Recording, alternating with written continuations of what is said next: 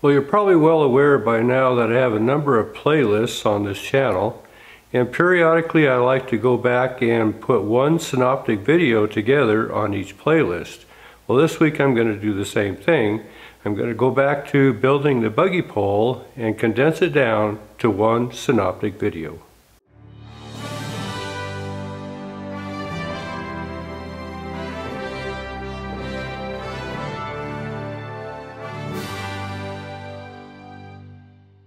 Well, this whole project was spurred by a customer who brought in this old pile of irons and asked if I could put it back together again.